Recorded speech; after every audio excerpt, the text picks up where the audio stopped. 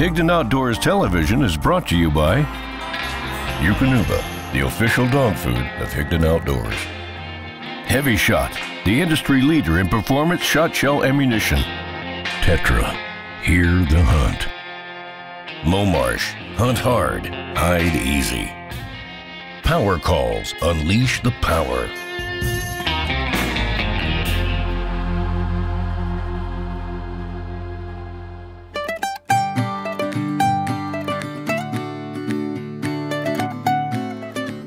Well, it's September, and uh, in September, in our little part of the world, that means apples. We got a couple apple trees in the backyard. I think we'll pick some apples, make an apple pie, and then we've got our early season variety of migratory waterfowl. So we've got blue-winged teal and green-winged teal. It's teal seasons, and then there's a ton of sora rails here, so we'll kill some sora rails, and then we're planning on going on a dove hunt and then if we're really lucky, we'll find a snipe. So if you can kill a teal, a rail, a dove, and a snipe all in one day, that's what I consider the small game slam. So I've tried for a long, long time, and I've only done it one, one time. Usually the snipe aren't here, but we'll see. Either way, we're gonna do uh, some cooking and some shooting and just have ourselves a good old time. Look at those apples. How about them apples? How about them apples? Goodness. This is a Red Delicious, and the one we're gonna make the pie out of is a Gala. They're pretty good for apple pie. You wanna bite? No, I'm good. Okay. We'll see how good you guys are with the bat here in a minute, and we'll play a little apple ball.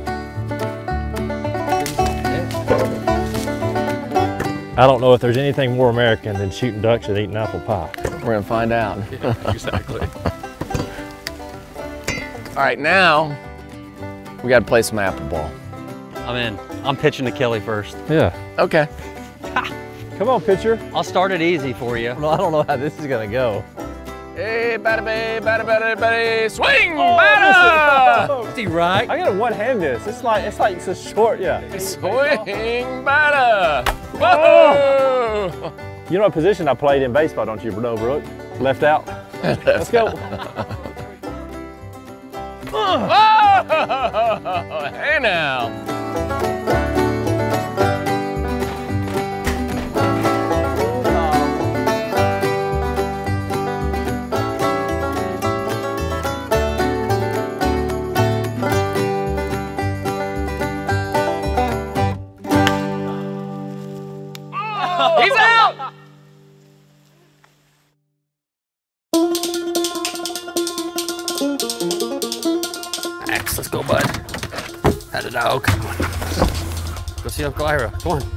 There you go.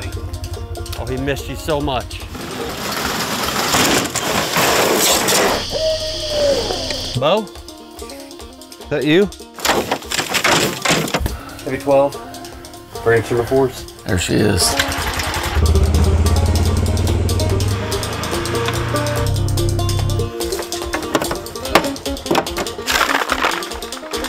It has been a lot of days since I was able to run my waders again. It sure does feel good. These little teal are a lot easier to carry in. I think we throw out this whole two dozen in motion and call it a day. Little spot for the dog. That way we can get him out of the way. Keep him safe. Be a good spot for him. Hey, Max. kennel. Can you see how clear this water is? This decoy on clear water, the water comes almost black and dark and there's no contrast, so the decoy doesn't stand out. But if, if you'll go in and muddy things up, it looks like the birds have been feeding in the area, so it looks more natural, but more importantly, the contrast of the decoy sticks out on that muddy water. You can see it a lot better. Your decoys will show up a lot better from long distances. There we go. All right, I'm gonna come right up here, touch it to this one. Probably need a little more height on it. No, that's about right. Let's get this lowered on that side. Looks like we're all set. It's a trick. If you're the guy that gets to put the pulsators out, just put them on the side of the hole that you're hunting on. That way you get to shoot all the ducks.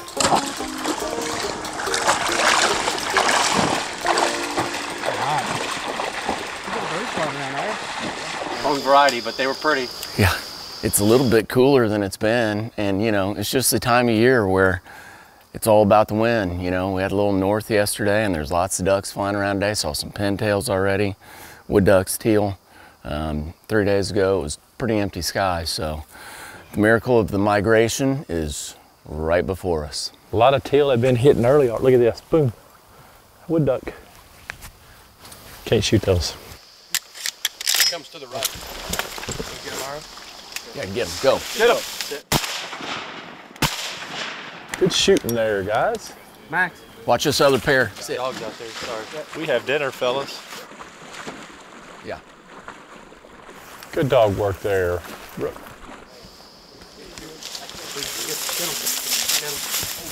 in the house, right in the house. Oh, it's a big bunch. Left side, left side. Go. Go. Get him.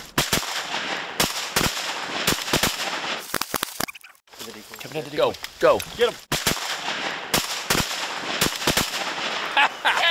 Now we really have dinner.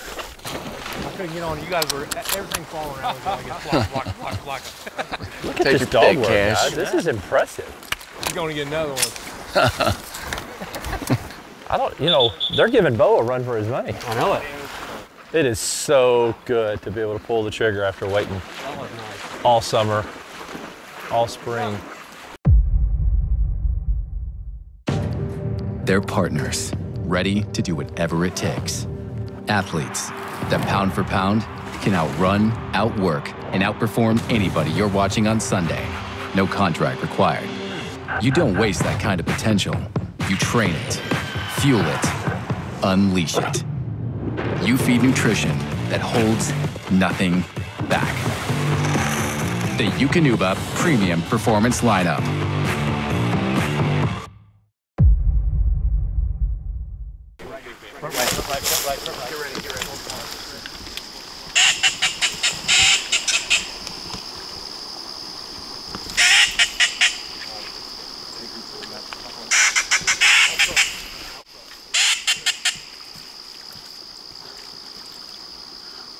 Go.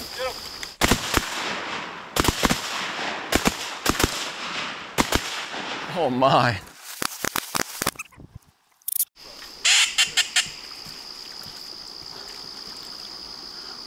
Go.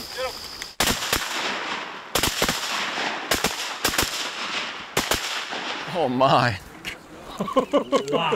Oh my. That was a wad. Woo! Oh my gosh. That was fun. I, don't ever train wreck. You couldn't miss. No, you, I mean too many of them. Yeah. Look at the dog work. No, this is impressive. That was a new bunch. Yeah. I have no idea how many we have out there. I can tell you this: it's about 80% of the flock. Here. Good boy. Drop. Fetch. Here. Good girl. All right, come on. Here. Look in here. Dead. that was some carnage.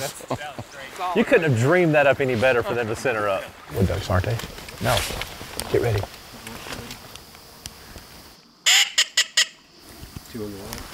Coming back, coming back. Right over top. Be still. Oh. Sorry. Front right, front right. Go ahead. Go ahead. Max. All three of those separated. Yeah. I was hoping they'd get in there better for the camera guys. I, yeah. No, we did fine. Are y'all blowing new calls, Kelly? What's going on? Oh, yeah. This is our teal call. It's kind of interesting. We started incorporating actually on all of our poly calls. These little rubber bands, it's really good for grip. Your hands are wet, whatever. Especially like it on our goose call. Good dog. It's a little ion. It, it just creates a little bit of friction there and that rubber, even if your hands are wet, cold, whatever, it allows you to keep your hand to hose the call on a little easier. So just a little easier to control. And these are little teal calls that we're running. Had that real nasally, raspy sound. They're gonna pop over the trees.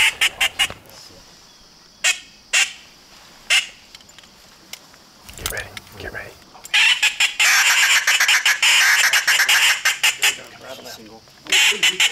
Get him, get him.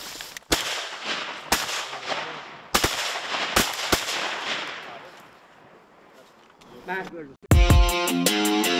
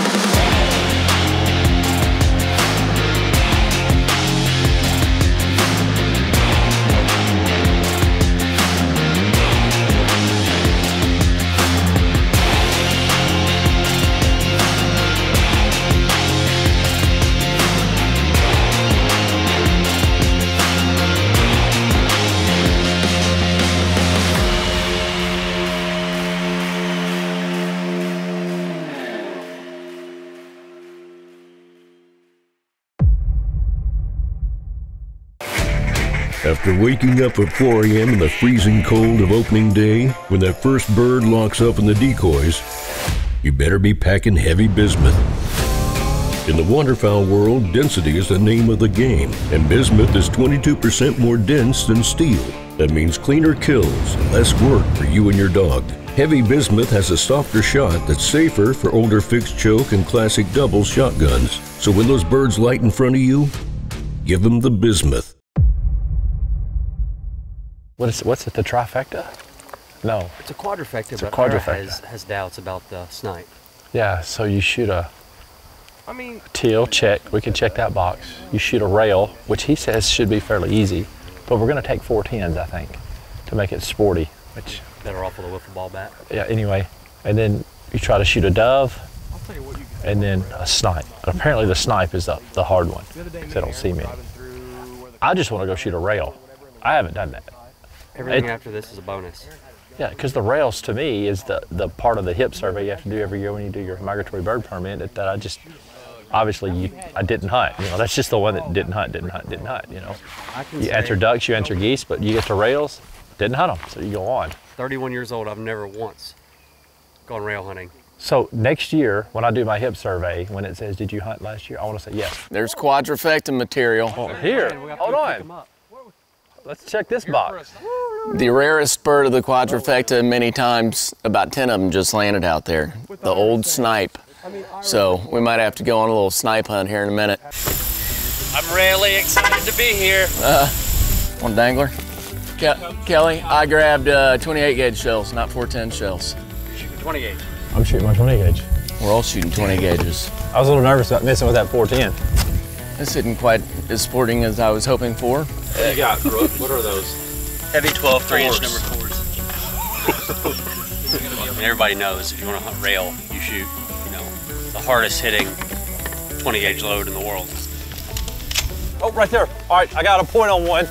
Like when we get up towards this end, we ought to get some fly up. Right there. here. It's gonna come right up here. Get ready. Oh. Got him. Headshot. Nice shot. I've got a rail. Hey, you got it. You got a mark. I got a mark. You got another that's gonna flush There's right there. one. Oh, oh no! That's why you want to shoot a, tw- a 410. All right, Ira, you're next. You got one right here, I think. Oh, there one went. Oh, Oh, okay. I got a mark. got it marked. There it is. Sora rail. I'm halfway there. It looks good. They are good. Looks like the little tenderloins that you get off a dove. You know that little sliver? They're excellent. looks tender too. I'm a rail hunter. You are a rail hunter Next year on my HIP survey, I'm gonna enter it with, with pride. with pride. Yep. Oh, there goes one. Oh, I got a mark on him. I got him. My line is good. My depth perception's bad. We got her. Angle on. We got two of the four.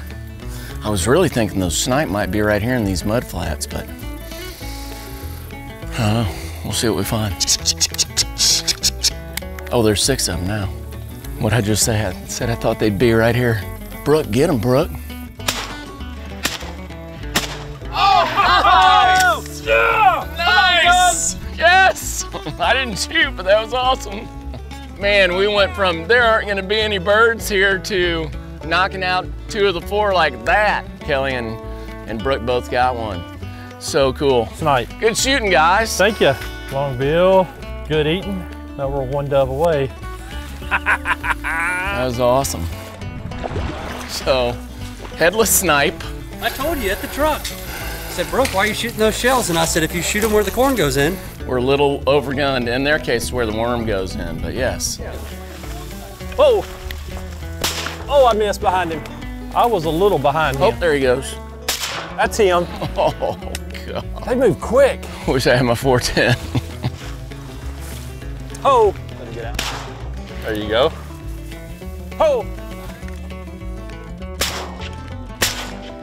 There's two. Oh!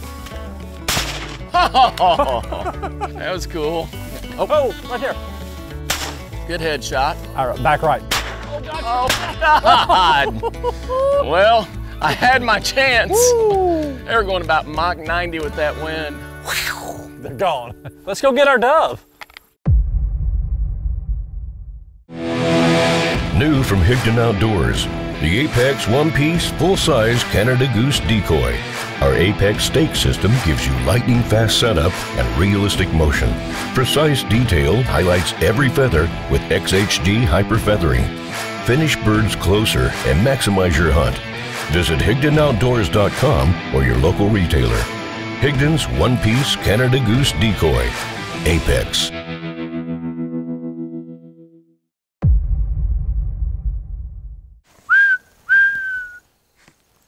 Ready? Ash!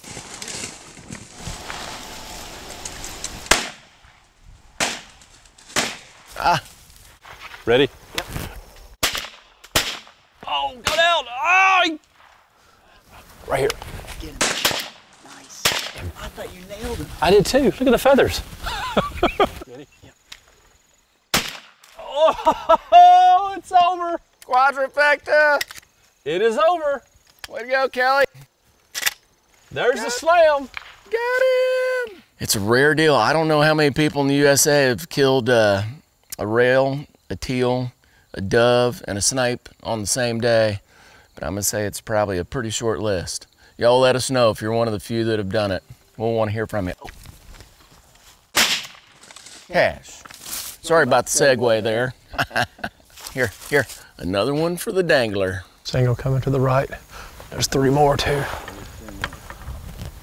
I bet he's not gonna make it to me. This is absolutely my favorite wild game to eat. It's a dove. Get him, Ira. Oh, You know what we call that, Johnny? What do you call that? An ole. When you miss three times, my Argentinian guides will go, ole! That's not the first time I've Olayed on doves, by the way. Oh, good shot, Kelly. Little breaker. Kelly, nice Oh. shot. goodness. He puffed that one. Oh, good shot. Our dangler's getting a little heavy here, Johnny.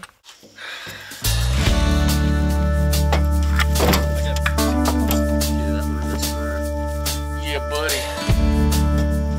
All right, so we got our smorgasbord here, our assortment of what we call the small game slam or the quadrifecta. This bird here is a sora rail. It's a male, you can tell by that mask on there. This one's a young one. The adults get a whole lot prettier. Um, but that's a young male sora rail. And then this is a Wilson snipe. So they're the fast flying little bird that makes that sucking sound like your boot coming up out of the mud. And they tend to be like in marshy environments. And then of course that's mourning dove. Everybody's probably familiar with that. And then we had a nice little teal shoot this morning. Got some green wings and some blue wings. So just some early season variety. I mean, you only get to do it for 16 days in September. And uh, you know, maybe tonight we'll go gig a couple frogs and in the morning we'll bark up a couple squirrels maybe. I'm not from Philadelphia, so I'm not 100% sure what's supposed to go into Philly cheesesteak, but I don't know how you can go wrong with onions, peppers, and mushrooms, right?